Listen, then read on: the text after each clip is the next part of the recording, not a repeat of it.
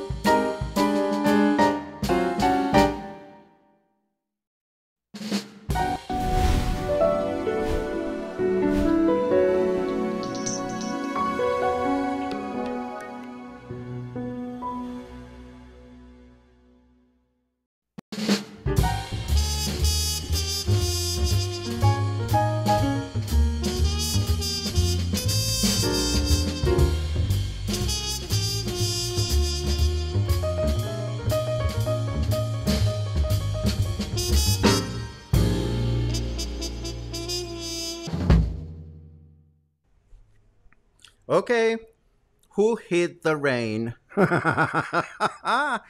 so here we were thinking it was going to rain, it was going to pour, and the rain never came. But no worries, we have the perfect solution for this crazy rain that seemed to have disappeared. But I'm getting ahead of myself. Let us get started with our usual welcomes. Good morning. This is Coffee and Headlines, our morning get together here on Facebook Live and subsequently on YouTube. Hello, YouTubers. We missed you for a few days. But we're here to look at headlines and comments from local newspapers, from state and um, from uh, nation uh, sources of information, national sources of information, just to figure out what to do, how to keep ourselves happy, entertained, and amused living in Puerto Vallarta as a community of English speaking locals.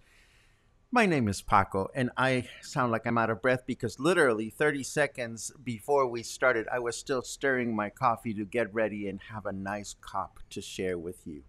No iced coffee today. It's nice and warm coffee because I figured it was going to be chilly this morning after all the rain, but it never rained. But I'm whining and I'm going to stop whining.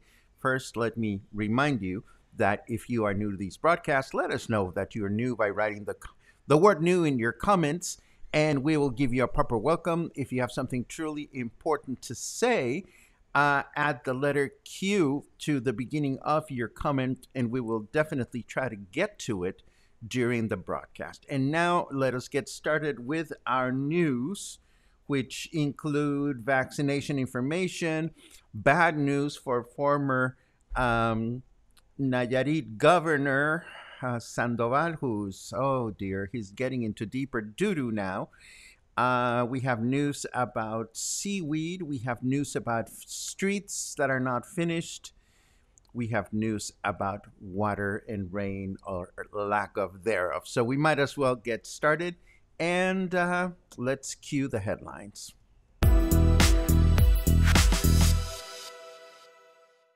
And they are gone, ladies and gentlemen. Almost 14,000 doses of the AstraZeneca COVID 19 vaccine were returned to Guadalajara after large numbers of folks in their 40s failed to show up for vaccination. Either that or the government completely overestimated the number of vaccines to be needed for the age group. Presently, there is no further information about a second vaccine dose for folks in their 50s or about the next vaccination campaign for folks in their 30s. Uh, but of course, we'll keep you posted as soon as we learn something new. Excuse me. Former Nayarit Governor Roberto Sandoval, already in jail for ties to organized crime and embezzlement, is now in deeper doo doo thanks to new charges that have appeared against him related to electoral fraud. Apparently, in audio recorded conversations uh, that go back to 2017, Sandoval appears to attempt to use social food programs in exchange for votes. Um, not looking good. and um, you know, it, I can tell you, we live in a different time. There were eh, periods in Mexican history where governors and, and politicians and authorities could get away with these kinds of things. Now, more and more, all these plots are coming to light. So maybe we are becoming a better country after all, or at least in some respects. Um, look at that photograph. This could be somebody's consomme or refried beans. We will never publish photos like that here in in, in coffee and headlines. Uh, but it we it is what they gave us. It, this is what was published, and what you're looking at is large amounts of sargassum seaweed that has shown up in the beach on the beach rather at Rincon de Guayabito, some 90 minutes north of Puerto Vallarta. And this is concerning locals because they feel it will botch vacation plans for many. The seaweed on its own is not dangerous to humans, or not very dangerous to humans, but some of the creatures living in the seaweed, such as jellyfish, can be poisonous. Since 19, uh, rather since 2014, sargassum has become an increasingly inconvenient problem in Caribbean beaches. And when it comes to our beaches, we certainly do not want to see it here in Puerto Vallarta, but who can argue with Mother Nature? Not me especially when she's inconsistent in delivering rain. And I will stop whining, maybe. um, moving on, by the book, according to this news note, all current street pavement projects must be finished by October 1st when the new administration takes over. But apparently, this may not be the case. There are three very important pavement projects underway in Puerto Vallarta at present time, and I'll show them to you in a map so that you can get a sense as to why they are so important. First of all, there's Montessori Street, which shows presently shows a 50% progress. Uh, then there's Avenida Las Flores, connecting uh, the International Convention Center to Francisco Medina Ascencio, but this project has barely just begun. And two days ago, I showed you this photograph of um, the third one, Emiliano Zapata in downtown Pitillal, which shows a 40% progress. And it is um, scheduled to be concluded by July 29. So, will these streets get actually done in time? We can certainly hope. But just to give you some context as to where these streets are, let me just show you. Uh, first of all, we have Maria Montessori here, and it is connecting. Um, there's Medina Ascencio. Oh my God, I have to turn this on for you to see what I'm pointing at. Hello. There's Medina Ascencio. There's the maritime terminal. And here's the hospital that changes names. Um, and there's Maria Montessori right next to the hospital that changes names. Um, and it goes all the way to connect here um, and this street has been worked on. We've talked about it before. We've seen photographs of it, and it is very important because if let's say that you're coming this way and you need to get to this point, the only choice is to come all the way over here. But having this other throughway will make things a lot smoother, or at least somewhat smoother. Then here's downtown Pitillal um, and there is, where is it? There's Emiliano Zapata Street, not to be confused with the Emiliano Zapata neighborhood that we know and love. And it is, as I mentioned the other day, it's the main throughway of Pitillal, and it is because it's a wider street. They can actually use. Um, they, they're able to to uh, to install wider sidewalks on it, and I saw a little bit of this, and it is quite wonderful.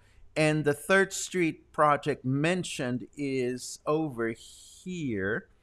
Um, let me find it. Ah, here we go. Okay.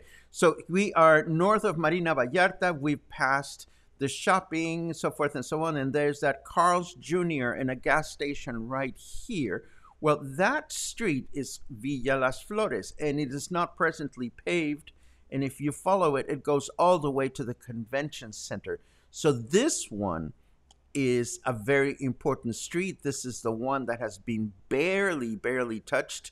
But all three street projects are extremely important to um, to alleviate traffic in our city. Let us hope that they're able to conclude them. Um, and uh, moving right along, I want to show you this other photograph.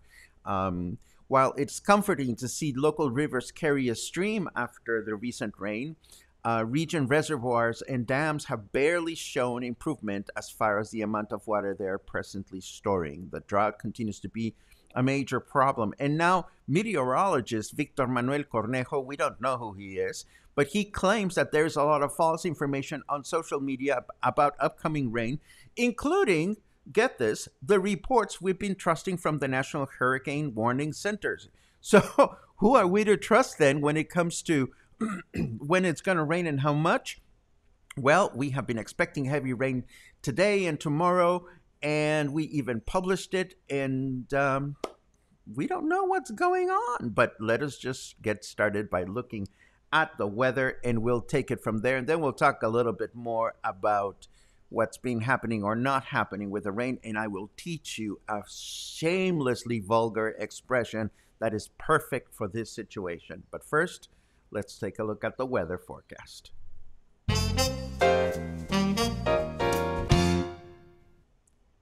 Integration test email number one. This template is used by integration tests only. Okay. Well, we don't know what that is about. Maybe you do. I am not entirely sure. Uh, but what I can tell you is that according to Carrot Weather, it is 26 degrees right now. Uh, feels like 29 degrees. Humidity is at 93%. That's way high. And our temperature in Fahrenheit degrees is 78. There is a 15% chance of rain right now. I'll believe it when I see it. And of course, our forecast calls for heavy rain. Heavy rain. I tell you, where is it? Heavy rain until morning, starting again in the evening with a high temperature of 29, low temperature of 24. Tomorrow, Saturday, we will have heavy rain until morning, uh, so it'll rain overnight tonight. And it starts to rain again tomorrow evening with a high temperature of 30, low temperature of 24. Sunday will be a humid day and mostly cloudy with a high temperature of 30, low temperature of 24. I will believe all these rains when I see them. You see, there was this article published yesterday. Let me show it to you. Um, this article indicated that we would receive heavy rain and even hailstorms in the coming hours, they said. But where did they go? We published an update yesterday afternoon saying that rain was coming, but there was no rain in Puerto Vallarta, at least not in my neighborhood. So with that information we can trust, we can we are at least going to uncover yet another vulgar expression for you to amaze your Spanish instructor or Spanish speaking friends. But please, please save this one for your closest friends as it is quite vulgar. And I sure hope my sister is not watching because she's going to get on my case for teaching you this very, very vulgar expression. Uh, in English, I think there is such a thing as crying wolf when you make a big deal out of something and then nothing happens. I think in English, um, there's also um, much ado about nothing when you make a big deal about something and then it turns out to not be the case.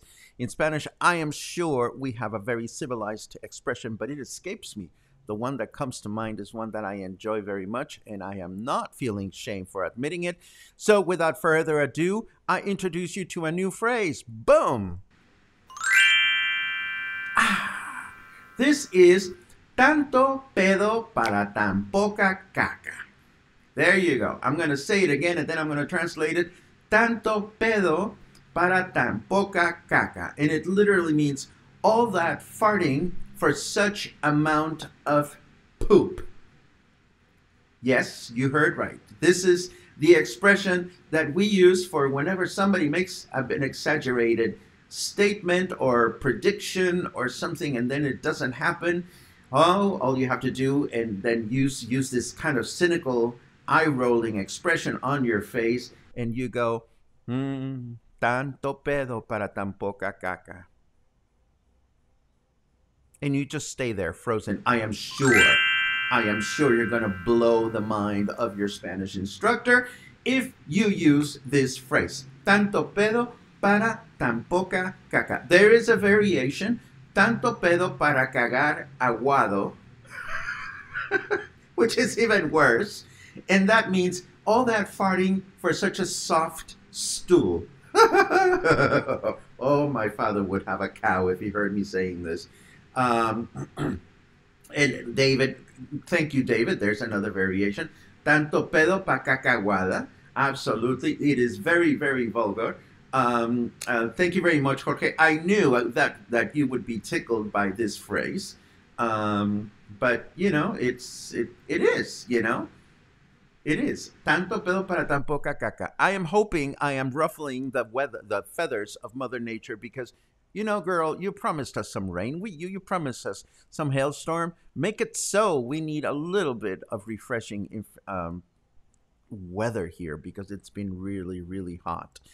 Uh, let's see. I have too much, two more things to share with you before we switch over to chatty mode. The first one, um, a few days ago, we mentioned tanto pedo para tan poca caca. I can't believe I get away with this, and you let me. Thank you very much. Anyhow, a few days ago, we mentioned an upcoming Pride celebration organized by the community in Colonia Versalles. The event has now been published on Facebook, and of course, I'm going to share it with you in the show notes. And it is scheduled to take place a week from tomorrow on Saturday, June 26th, from 6 p.m. to midnight. It is billed as a cultural celebration in which you will be able to discover how art, culture, dining, family, and friendship come together for a day, or rather, an evening full of love. The event will be headquartered at La Gallega, a popular tapas bar in the neighborhood, and will take place on the street. It will be a street party, and entrance is going to be free. So it is going to be. Uh, it's going to be fun. I am definitely going to be there. I want to support the neighborhood, and you know, there's a lot of um, of little places that you can hang out. Uh, you know, even if you don't want to be at the party party, you know, it's a perfect excuse to check out some of the nearby restaurants and eateries and hangout places. Uh, so we wish much success to this new endeavor. And finally, um, in case you didn't notice, uh, she is back, Diana Ross, at 77. And after 15 years away from the recording studio, uh, Diana Ross is back with a new single for her upcoming new album. The song is called Thank You, and I'll leave you with a link to the music video for you to enjoy. Is she still as supreme as we love her? Well, let's listen to the song and let's talk about it tomorrow. And with that said, let us get done with our news and switch over to chatty mode just to see what you guys are up to and how you guys are reacting to all this nonsense. Uh, hello from Mazatlan, Brett. Brett communicated with me yesterday with some more tips about the Chepe, uh, the Copper Canyon train, and I am so very happy to receive them because it's it's all part of the information I'm putting together for when I get around to doing that trip, so that I can report it properly. Uh, lots of good mornings. As always, it is a pleasure to read your good mornings. Um, some of you are enjoying slightly cooler weather. I am very happy for you. I'm still waiting for our rain. Um, but i will stop talking about it, I promise. Um, let's see what else we have here. Uh, lots of good mornings. Thank you very much, you guys. Um, Jorge says that was cute. Thank you very much because I'm reading the comments out of order or out of context. I don't know what was cute, but whatever you thought was cute, I'm very glad that you did. Um, let's see. Pum pum pum pum. Good. Good morning from Chicago. Hello, Ramona. Uh, Dave Schwartz says it's going to be close to 100 up in Central Maine. Ouch. Um, Matthew says hopefully they'll find 14,000 tapatíos for those vaccines. I'm sure they won't go to waste. I'm sure they won't go to waste. And of course, you know, somebody went as far as to say that maybe they would advance vaccination for folks in their 50s. That didn't happen. But, um, you know, we'll have to wait and see. Matthew also contributes that Sargasso is very smelly. This is true. Um, let's see. Otters love it though. I love it. I would love to be an otter. I love watching. I love watching otters. Uh, they're supposed to start remaking my street this week. It's going to be a mud bath. So glad I'm not going to be there for this. Okay. Uh, let's see. Oh, Karen received her second vaccine. Bravo. Every time you give me vaccine news, I get really happy. That makes us all being closer to to a better place, I suppose. Um, oh, good. I uh, Dale connected with me. Thank you very much, Dale. Dale connected with me yesterday. She went uh, exploring the recommendations from last week's tour. She showed me a beautiful photo. Uh, she was sitting literally on the same spot where I was sitting when I enjoyed Chef Caliz's wonderful food at Mercado uh, Aramara. And then she went to the coffee shop that serves iced ginger coffee. That is fantastic. Again, you make my day every time you report that um, that you've checked something out that we've mentioned here. Um, let's see what else we have. Oh, your reactions to my beautiful, colorful metaphor. Uh, uh, Heather says it most definitely rained heavily in the mountains, judging by the feverish flow of the Rio Cuale this morning. Um, I'm sure it must have rained somewhere. It just didn't make it here, and it looked very, very ominous. Uh, oh, I love it. Here I sit, broken-hearted, try to shit, but only farted. I think I may have heard that before once, but no, no, I don't know. I'm not sure, but I love it. I'll add it to my repertoire. Thank you very much, Mushi. Um, Rita says, I already have at least five events in my life that beg for that response. Tanto pedo para tan poca caca. It's delicious. It is a perfectly delicious expression and very, very accurate sometimes, especially when you eat um, a lot of beans. Oh, never mind. Let's not go there. Um, let's see. Tropical Storm Dolores is coming up the coast.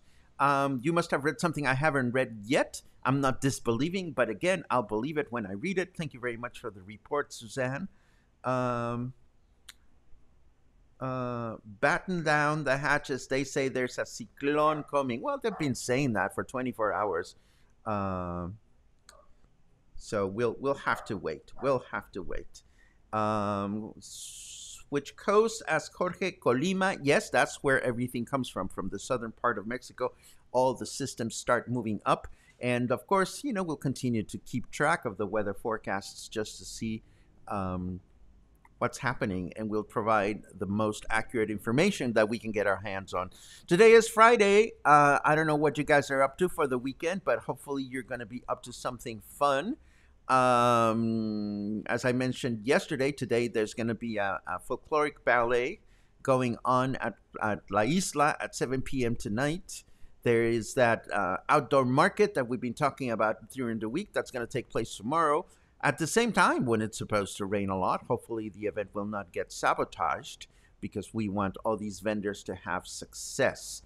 Um, and Sunday, Sunday is my day off, and I'll continue to master a couple of crochet projects that I'm working on and um, and I hope you guys have a really really awesome weekend. I think we got everything that we wanted to talk about today. So let us whip out some of our credits. Again, I thank you for your time and your company and your feedback, and uh, I hope that we'll get together again soon. Hopefully, maybe even tomorrow. And I hope that you'll have an amazing weekend.